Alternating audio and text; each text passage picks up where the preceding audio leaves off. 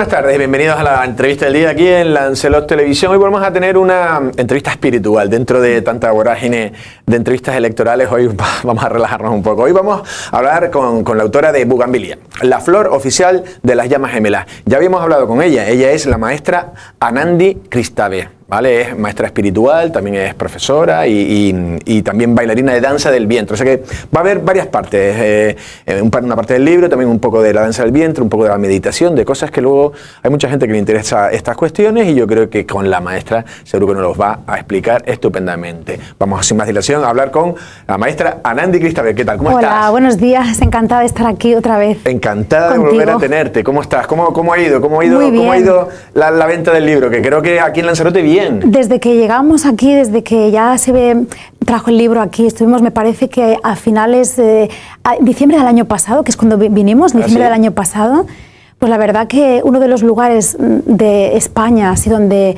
ha tenido bastante acogida y gente más abierta espiritualmente, que se han interesado mucho, es justamente el Lanzarote, pero estamos aquí otra vez. Vale, de hecho, vamos a hablar un poco de Lanzarote, porque en lo que estábamos hablando, decía, dice, Lanzarote tiene ¿Cómo dijiste? Un portal de luz. Un portal de luz. Eh, hay, muchos lugares en el planeta que son portales de luz. Significa como que tienen una conexión un poco con la fuente divina, ¿no? con lo que es mm, los planetas de luz de otra galaxia, planetas, no solamente estamos en este, este planeta, y tiene una, una, mm, especial conexión este y muchos lugares, otra, por ejemplo, en Andalucía hay portales de luz importantes, como puede ser también Almería. En Barcelona también tenemos portal de luz de Montserrat, de la Virgen. Siempre donde ha habido una historia también espiritual o religiosa en el sentido más espiritual, diría yo, donde ha habido un milagro, donde ha habido algo importante en la historia. El Lanzarote yo siento que es más la energía volcánica del lugar, ¿no? que tiene una eh, conexión especial también con quizá otros países también, Egipto, India, algo tiene porque es muy espiritual, igual que vas a la India, la gente está más abierta de mente también, aunque hay dificultades en el sí, país. la India es el contraste ese. Es el contraste muy fuerte, pero mm. sí que tienen como un sexto sentido más, o la gente es más creyente de una manera más espiritual, no creyente de religión, como más de corazón, ¿no? Yo me he encontrado las veces que he venido aquí, que son algunas ya, gente muy espiritual, más espiritual, más despierta. Y como yo trabajo con las llamas gemelas, almas gemelas, me he encontrado muchas almas gemelas. Llama, es lo mismo llama gemela y alma gemela, de que de eso trata mi libro. Ahora lo hablaremos. Y me han venido a mí para, bueno, para preguntar si son llamas gemelas, si tienen llama gemela, para empezar su proceso espiritual de sanación. Y la verdad que siento que este está conectado con un planeta especial, el cual hablo en mi libro, que se llama Orión. El planeta Orión, constelaciones de Orión donde hay un gran portal de luz que nos envían luz desde arriba, porque si no nos envían luz, eso estaría ya acabado, ¿eh? acabado el planeta. Eh, ahí estamos viendo pues firmas de libros por lo que estabas tú diciendo también, ¿no? De, de, la buena marcha, ¿no? De la buena marcha y de, y de esa de esa luz que debe tener. De todas maneras, también eh, todo en ti, tú la verdad que hasta no estéticamente, ahora me gustaría, eh, en cuanto la realizadora pueda, también que expliques un poco eh, lo que tienes también, ¿no? Eso, ¿Cómo se ah. llama lo que tienes aquí en la frente? bindi, es un, un, bindi que es, bueno, es más la cultura hindú, ¿no? Cultura árabe, también hindú, marcar un poquito lo que es el tercer ojo espiritualmente, estéticamente queda muy ah, bonito. lo dijiste, ¿verdad? Pero lo te lo dije la, última vez. Espiritualmente, energéticamente, es un significado más eh, espiritual porque es como la, intuición, la intuición femenina que tenemos. También el hombre tiene ese tercer ojo, ¿no? Eh, la mujer lo resaltamos, las mujeres hindúes lo resaltan en, el, en, el, entre ceja y ceja, en el entrecejo, el agna, que es el sexto chakra, en sánscrito se llama agna, que es nuestro chakra de la intuición, ¿no? donde, está, donde percibimos todo lo que es, en la parte del cerebro hay el hemisferio derecho y el hemisferio izquierdo. En el hemisferio derecho tenemos la parte intuitiva femenina que tenemos que tener muy en cuenta y las personas no la tienen en cuenta hasta que no despiertan espiritualmente de que realmente hay que cuidar nuestra mente muchísimo y cuidar la parte que se equilibre la parte racional con la parte también más espiritual e intuitiva, ¿no?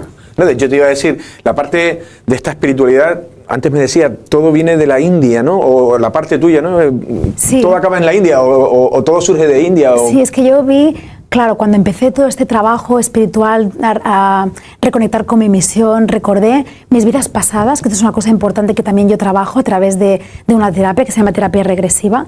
Mis vidas pasadas recordé yo y mi misión es que, que, los demás lo recuerden también para que puedan sanar, por un proceso de sanación, para que puedan sanar todas aquellas cosas que a lo mejor tú puedes decir, mira, se me repite algo, tengo un problema, se me repite algo y, y, ¿por qué me pasa esto? ¿Por qué? A veces donde no llega la psicología, ni llega la psiquiatría, ni nada, es mucho más allá de la mente, ¿no? Esa terapia porque tú puedes ver el origen real de donde empezó un trauma que puedas tener, un problema, una conducta, un patrón repetitivo. Entonces vas allá, más allá, que es otra vida, donde tú puedes ver, esta es la, ideología de la India también, porque la India cree en la reencarnación, ¿no? Sí, ¿no? De hecho, ¿qué tienes, ¿qué tienes, ahí? ¿Qué tienes? Pues decías tu amuleto, decías. Ah, eso es un mala hindú, que, que también viene de la India, ¿no? Porque claro, yo como conecté con mis vidas pasadas, como decía, me vi, pues de maestra espiritual, ya me vi en la India, pues hace muchos siglos atrás me vi de maestra espiritual, ¿no? Y esto es un mala hindú, que es un, como si fuera un rosario, de aquí el rosario nuestro de aquí, de Rosario de la Cruz, de, o de la Virgen, pues allí es, mm, bueno, diferente, de colores, son muy alegres en la India, muy, mucho color. Por eso me he venido yo con color también y con rosa, el color del amor, ¿no? Justo este es, rosa lo, tenemos en nuestra tienda online, que también tenemos productos y artículos de, de India, de otros lugares, de meditación y tiene 108 bolitas, 108 cuentas que se le llama, que son estas bolitas que vemos, y lo que tienes que hacer es un mantra o una oración en cada bolita, pasando el dedo por cada bolita, y esto quieras que no, parecerá una tontería que nos esté escuchando, ay, pero eso puede cambiarme el estado de ánimo, puede transformarme, puede ocurrir un milagro, puede realmente es transformador, porque la palabra tiene una fuerza y un poder muy importante, la palabra y cuando se transmite y se dice una palabra en sánscrito, como canto de mantras, que también soy profesora de canto de mantras también, vale, perdona. Sí. Que siempre se dice, ahora, ahora se ha mm, eh, etiquetado la palabra, por ejemplo, un mantra, cuando alguien dice, no, este, este político está repitiendo el mantra, es su ah. mantra. Porque el mantra, ¿qué es un mantra? ¿Es algo como una forma de meditación que se repite? ¿Qué es un mantra? Sí, es una palabra sánscrita como una forma, oración, son palabras elevadas, muy, mm, como muy sagradas de la India, que en un idioma sánscrito, que se repiten. Por ejemplo, un canto, un cántico en sánscrito, una palabra, por ejemplo, yo tengo el, mi mantra, tenemos el mantra de, esta misión que se llama Om Klim Kristave Namaha. Kristave es mi apellido espiritual, Om Klim Kristave Namaha. Y este mantra, para nuestros espectadores que nos están viendo, eh, que lo puedan hacer y repetir y hacer. ¿Y cómo, y cómo se hace eso? es una protección, una protección, y yo lo he comprobado de muchos años, de verdad. Cuando va mal, ahora explicaré un poquito cómo se podría hacer.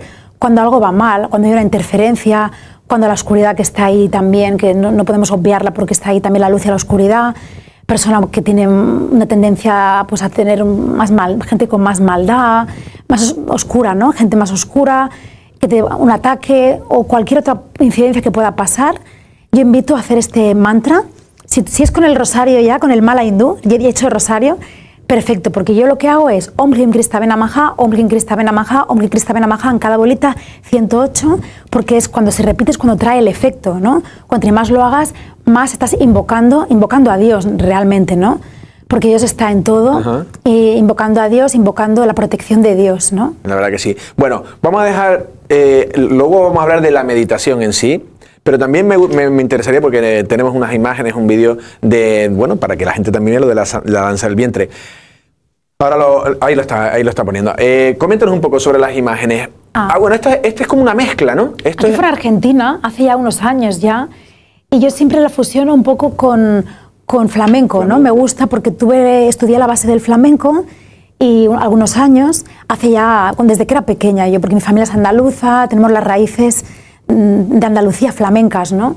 y tiene mucha fuerza. A mí me gusta fusionarlo y todos los estilos de danza del vientre, que hay muchos, me gustan, los estilos de danza árabe, pero este especialmente es el con el que doy las clases y con el que bailo cuando voy a un festival o me invitan o el que voy a bailar a partir de ahora adelante también más. ¿no? Claro.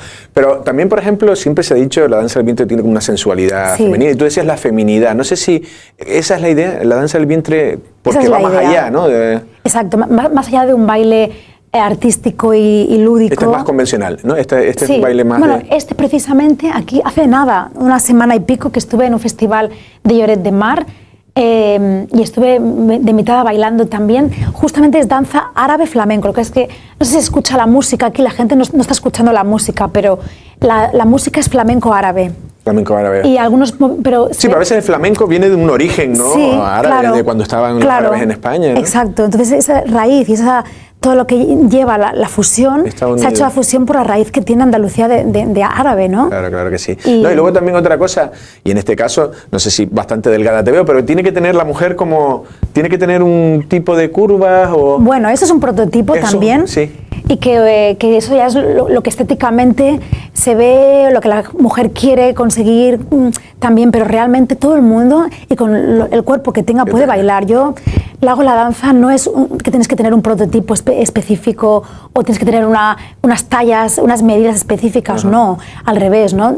En realidad tenemos que, yo vengo un poco como a limpiar esta eh, competitividad con la danza, esa es mi misión, de que todo el mundo, a todas las edades también, el, cuerpo, vamos, hay que cuidarse por a, nivel de salud, ¿no? De tu cuerpo y tal, hay que hacer ejercicio, cuidarse, soy partidaria del ejercicio de cuidarte y de, de gustarte a ti misma, estar como tú te gustaría, pero si la mujer, pues por lo que fuera, tiene este sobrepeso, una mujer que tenga sobrepeso, que la persona tenga un karma con esto, porque son karmas todo lo que nos ocurre, ¿no? que tenga problema de alimentación, cualquier mm, problema que pueda tener con ello, no tiene por qué, tiene que bailar igual, ¿no? No, y me imagino que será, terapéutico. Será, será terapéutico, digo yo, eh, de espiritual y sobre todo físico también, ¿no? Algo, el cuerpo debe agradecer eso, entiendo Es que te ayuda tanto físico como emocional, como mentalmente, como espiritualmente, y sobre todo en lo que aparte que yo me enfoco, aparte de la física y de tener, mantenerte y de aprenderlo, de la técnica de aprender, los movimientos, porque trabaja el, movimiento que hace este sensual y femenino, que fue creado por la diosa Isis en antaño en Egipto, los orígenes de Egipto, fue creado por esta diosa, gran diosa madre divina, Isis, egipcia, que impartió esta danza a sus sacerdotisas, les enseñó, las las reeducó, las enseñó con esta danza para que puedan ellas también hacer un trabajo de ayuda a la tierra, ¿no? porque con esta danza lo que se hace es que se irradia mucha luz, porque en su momento en antaño la hacía la diosa Isis con sus sacerdotisas para poder invocar, para que lloviera, por ejemplo, nos haría mucha falta ahora, porque cuando yo bailo es verdad que pasan cosas del tiempo meteorológico, porque yo me conecto y medito antes de hacerlo y mis alumnas les hago meditación y por ejemplo que estamos en sequía, ya ves que estamos en esta época muy en sequía, en Cataluña pues no llueve, y, cuando hemos bailado ha caído el agua, es, es alucinante. Esto es alucinante y es verdad. Pues, va a tener que venirte para acá porque yo también algo más. Porque se irradia mucha energía y cuando se hace conectando con lo que hicimos en antaño, se tiene toda esta naturaleza del alma, también esta conexión con la diosa Isis,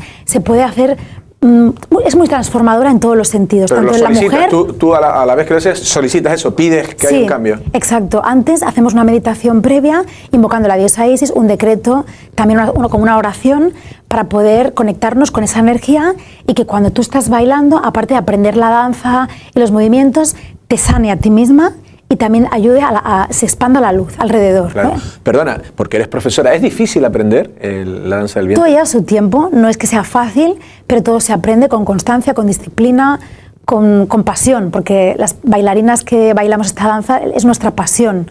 Además, la música, es una música, claro, yo porque como he vivido en tanta, me he visto en tantas vidas bailarina y bailando, tengo la música dentro, la música árabe está dentro de mí, cuando la escuché la primera vez lloré, imagínate lloré de la emoción que yo recordaba algo que yo no sabía lo que era, pero a mí el primer despertar fuerte, como he dicho en muchas entrevistas, me lo ha dado la danza del vientre y la meditación. Ahí decidiste ya casi, Ahí esto es lo que yo quiero. Se despierta el alma, ya es una cosa que no piensas tú con la mente racional, quiero esto, sino que ya te, te lleva a, seguir tu corazón y tu alma, lo que quieres hacer en la vida, ¿no? que es ayudar a los demás a través de, de las enseñanzas espirituales. Y, y, poder con esta danza ayudar a la mujer a sanar, que es lo importante, ¿no? Sanar los egos, la culpa, todo lo que es la energía más baja, como la autoestima, ¿no? Que suba la autoestima. Los miedos, exacto. Claro, entiendo que sí. Eh, bueno, estabas hablando de, de, todo cómo se enfoca eh, desde la espiritualidad y si quieres vamos más a la meditación, porque luego sí. son varias partes, varias por donde tú enfocas, ¿no? Otra parte es la meditación. En este sentido, ¿de qué manera meditación es?